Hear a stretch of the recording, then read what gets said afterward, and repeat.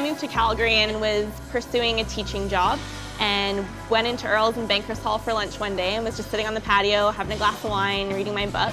The RL walked out, James Hughes, and just started chit-chatting with me and asked me if I was looking for a job. I told him I was looking for a teaching job, but said, well, you know what? Um, I think you should come work here. Getting hired as a host, and I didn't know what I was getting myself into. I had zero serving experience, had never worked in a restaurant before.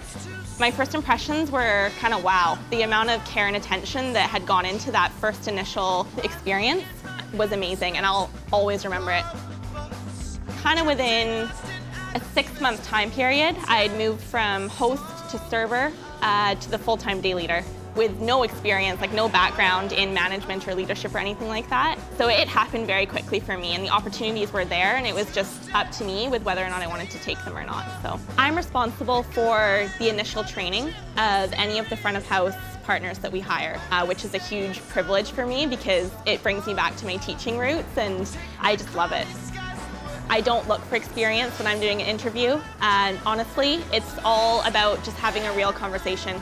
Um, if you can be yourself and you know have create that wow first impression, um, that's all I'm really looking for.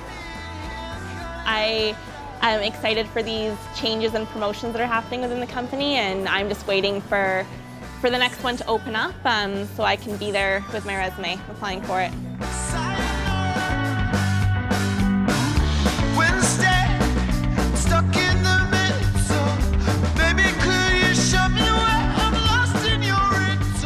Ultimate goal is to be a restaurant leader of my own Earls.